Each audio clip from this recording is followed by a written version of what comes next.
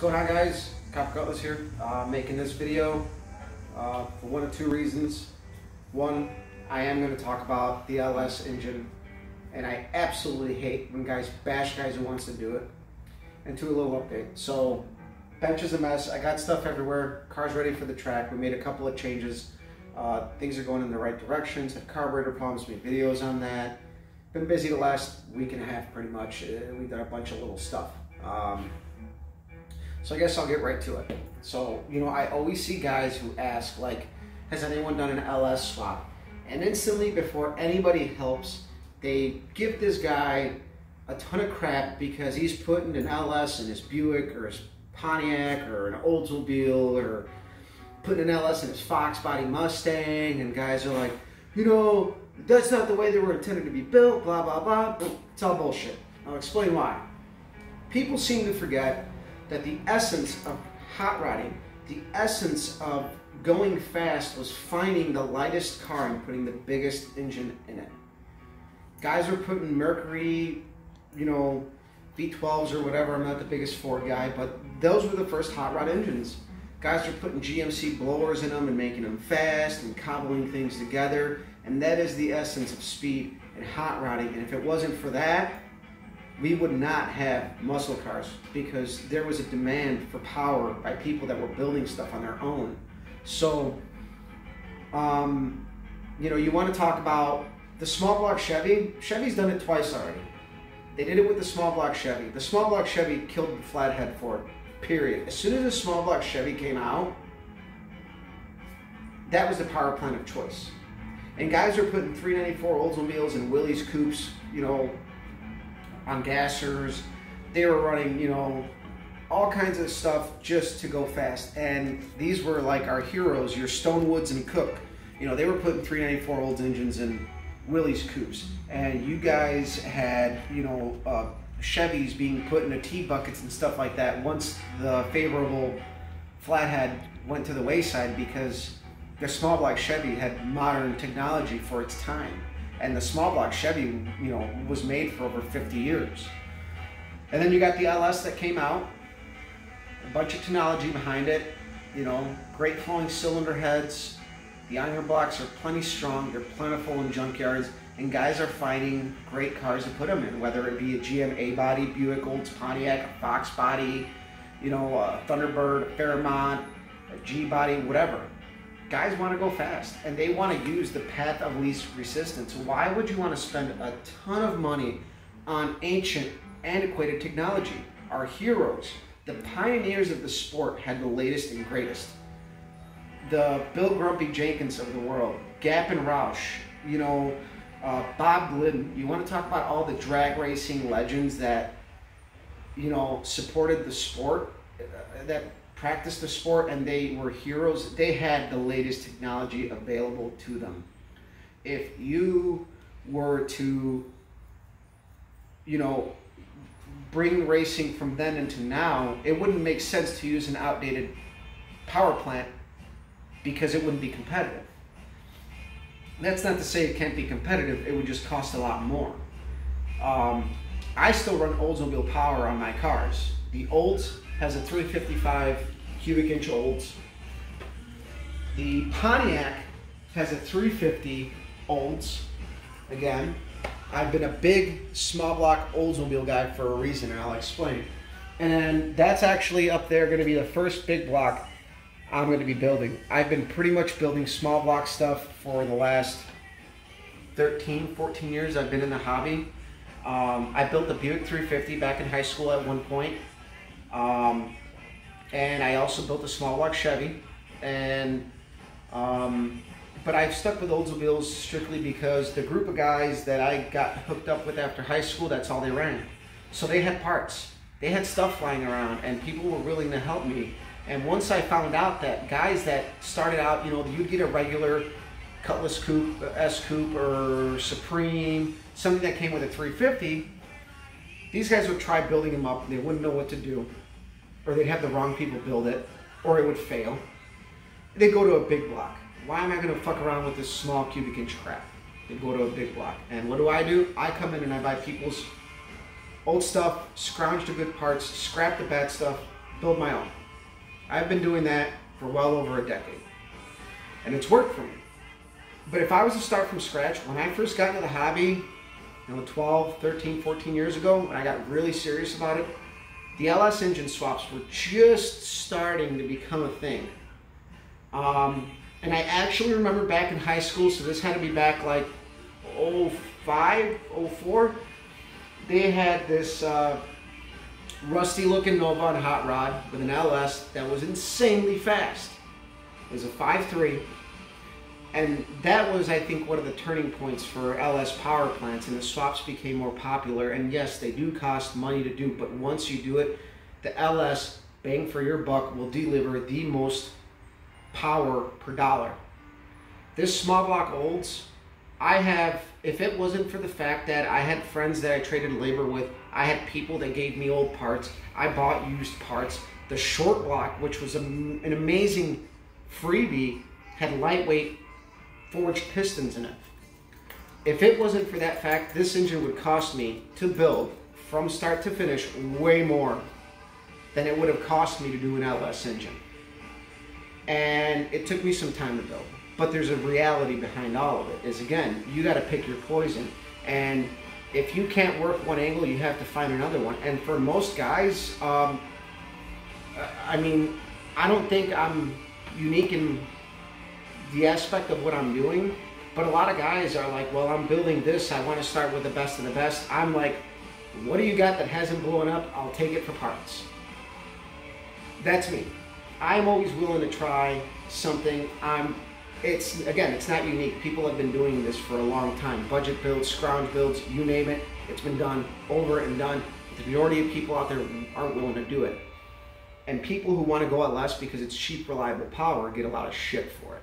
And I'm sorry, but it's a great engine. If you know you want to have a solid, reliable, you know, hot street strip engine, an LS with very little work will run 12s with pretty much stock components. So uh, if you guys follow like the Holley LS Fest and you get all the coverage from like Hot Rod and Car Craft, you see these guys with like near stock combination with like 308 gears running like 1250s. Like, dude, I was I'm, I was running 1220s with 390s in the 3500 stall and got like five miles per gallon. Is it drive on the street? Yes, I could drive it anywhere. Back when it was a 1220 car, it's it's 11 best so far is 1189. I can still drive it anywhere, but it's a pig on gas. I can't go anywhere without spending 25, 30 bucks on gas. Um, so for guys who want to run the LS, it's like um, I hate seeing the static because in essence that's that's hot rodding. That's what it's all about. The hobby needs something like the LS to come along and get people engaged. It, it's the cheapest foot in the door for people that want to go racing. Find a Fox body, they're still plentiful, they're still cheap. Find an LS, throw nitrous at it, throw boost at it. They're cheap and plentiful at the junkyards. The recipes are out there, what works, what doesn't.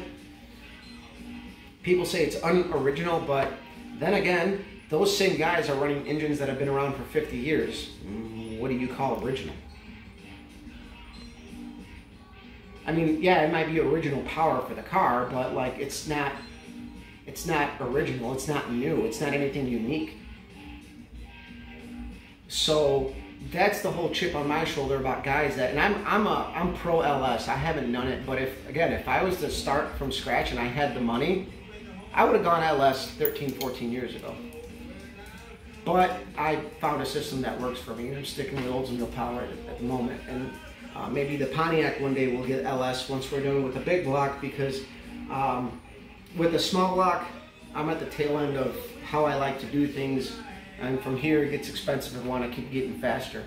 Uh, it just doesn't work for me uh, to spend a lot of money. It's it, this is a hobby, it doesn't pay at all. Why spend money that is not necessary to get spent? So I can understand why guys go LS. Um, some guys I think uh, value the originality of cars too much. Like I get it if you have like a super rare numbers matching like W30 or GS or GTO, like I get it, you shouldn't. But then again, I'm the kind of person where if I got that car dirt cheap and I can fix it up and piss people off, I would totally do it. Why? Because that's that's uh, that's high rodding, man. If you're not pissing somebody off, you're not doing it right.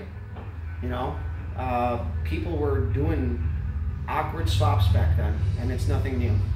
It's been done. It's been overdone. The only thing that's changed is there's a lot of technology behind it now, and why would we not take advantage of it? Why would we let it sit by the wayside when, um, you know, it's cheap power?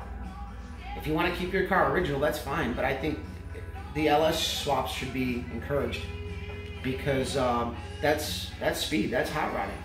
Somebody who's putting an LS in a car is putting it in for a reason. They want something from it. They want that technology. They want that reliability. And I'm sorry, I have a 2010 Suburban with 185,000 miles on it with a 5.3 LS. All original, never been opened up. You couldn't do that to one of these old engines. You couldn't go more than 60,000 miles without opening up and replacing a timing chain. So think about that. Reliability, yeah, modern power is reliable. Period. There's no way around it. A car that ran 100,000 miles back in the 60s unopened was almost unheard of. Did it happen? Probably, but it was very unheard of. So, again, there's a lot of modern technology behind the LS to the point where I think if people want to do it, man, do it. But I just hate seeing people getting battered over it. Like, I get it, you love Buicks, you love Buick Power. I love Oldsmobile Power. I've been running Oldsmobile Power since I got into this whole deal. Uh, I may have built a Chevy and a Buick in the past, but they never found their way into a car and I sold them. And then this came along. That's actually why I sold the Buick engine I built uh, to buy this car. And um, so, yeah, I mean, I, I think people need to lighten up. The LS swap is good for the hobby. It's just an engine. I mean, they got these things down to the point where you can undo shit and nothing's hurt. And I think the people that are mad are people that are afraid of getting eclipsed. Well, unfortunately, that's already happened. You got some really fast, like stock bottom end cars that, yeah, they probably see some proper machining stuff and upgraded bolts and stuff, but they're running like nines, high eights on boost with some stock components, so that proves its strength. You couldn't do that with old iron at all. So guys, keep that in mind. That's kind of my rant. That's kind of my, I might be a, I wouldn't even call myself a hardcore Oldsmobile power guy. I just, it's been strictly um, circumstantial for me. I found my niche and I worked it and I, it's worked for me for over a decade. And there's guys that have, you know, stuck to, I've watched a lot of my friends stick with Oldsmobile power and have nothing but problems. And they've spent a lot more money than I have. My wife just burped if you heard that. Um, so I've had friends that have spent way more money than I would ever, that I could ever justify spending on going, you know, tens. I just, I couldn't see it, you know, spending nine grand on an engine that's going to run tens, you know, or an engine that costs 12 grand to run nines, just to keep it Oldsmobile powered. It doesn't, it just doesn't click with me. I'm a cheap bastard. I need cheap. I have priorities. I don't want to let the car sit. Okay.